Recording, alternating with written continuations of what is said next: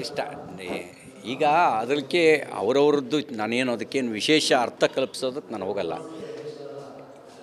ನಮ್ಮ ದೇಶದ ಸಂಸ್ಕೃತಿ ರಾಮನೇ ಹಾಕ್ಕೊಟ್ಟ ದಾರಿ ಇದೆ. ಜನನಿ ಜನ್ಮಭೂಮಿಶ್ಚ ಸ್ವರ್ಗಾದಪಿ ಗರಿಯಶಿ ಅಂತ.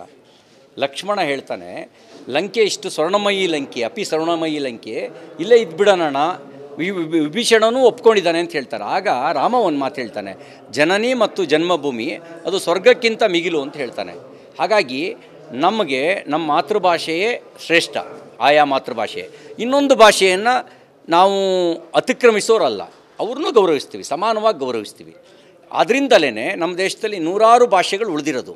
ಒಂದು ಭಾಷೆ ಇನ್ನೊಂದು ಭಾಷೆನ ಕೊಂದಿಲ್ಲ, ಕೊಲ್ಲೋದೂ ಇಲ್ಲ. ನಮ್ಮ ಭಾರತದ ಸಂಸ್ಕೃತಿಯೇ ಹಾಗೆ.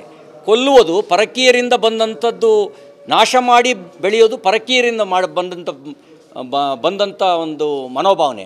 ಈ ದೇಶದಲ್ಲಿ ಆಯಾ ಸಾವಿರಾರು ಜನ ರಾಜರು ಹೋಗಿ, ಆಳು ಹೋಗಿದ್ದಾರೆ. ಯಾರು ಒಂದು ಭಾಷೆಯ ಮೇಲೆ ಇನ್ನೊಂದು ಭಾಷೆಯನ್ನು ಎತ್ಕಟ್ಟಿಲ್ಲ, ಒಂದು ಭಾಷೆಯನ್ನು ಇನ್ನೊಂದು ಭಾಷೆಯ ಮೇಲೆ ಹೇರಿಲ್ಲ. ಎಲ್ಲ ಭಾಷೆ ಉಳಿದಿರೋದು ಆ ಕಾರಣಕ್ಕೇ ಆ ಕಾರಣಕ್ಕೆ ಉಳಿದಿರೋದು. ಹಾಗಾಗಿ ಈ ಸಂಸ್ಕೃತಿಯ ಹಿನ್ನೆಲೆಯಲ್ಲೇ ನೋಡಬೇಕು. ಯಾರೂ ಅದನ್ನು ಅತಿರೇಕಕ್ಕೆ ತಗೊಂಡೋಗೋ ಅವಶ್ಯಕತೆ ಇಲ್ಲ. ಹಿಂದಿ ಯಾಕೆ ಹಿಂದಿಯೇ ಸಂಪರ್ಕ ಭಾಷೆಯಾಗಿರಬೇಕು ಅನ್ನೋದಕ್ಕೂ ಉದಾಹರಣೆ ಹೇಳಿದ್ದಾರೆ. ಶೇಕಡ ನಲವತ್ತೆಂಟು ಪರ್ಸೆಂಟು ಭಾರತದ ಜನರಿಗೆ ಹಿಂದಿ ಮಾತೃಭಾಷೆ. ಇನ್ನೊಂದು ಐವತ್ತೆರಡು ಜನ ಪರ್ಸೆಂಟ್ ಜನ ಸಂಪರ್ಕ ಭಾಷೆಯಾಗಿ ಇಂಗ್ಲೀಷ್ ಬದಲಿಗೆ ಉಪಯೋಗಿಸಿ ಅಂತ ಹೇಳಿದ್ದಾರೆ.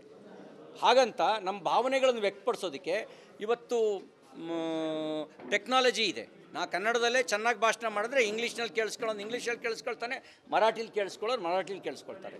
ದುಃಖ ಪಡಬೇಕಾದ ಅವಶ್ಯಕತೆ ಇಲ್ಲ. ಮಾತೃಭಾಷೆಯಲ್ಲಿ ಮಾತಾಡೋದಕ್ಕೆ ಆ ಕೀಳರಿಮೆಯನ್ನು ಬೆಳೆಸಿದ್ದು ಇಂಗ್ಲೀಷ್ ಬಂದಮೇಲೆ. ನಮ್ಮ ನಮ್ಮ ಮಾತೃಭಾಷೆ ನಮ್ಗೆ ಹೆಮ್ಮೆಯ ವಿಷಯ.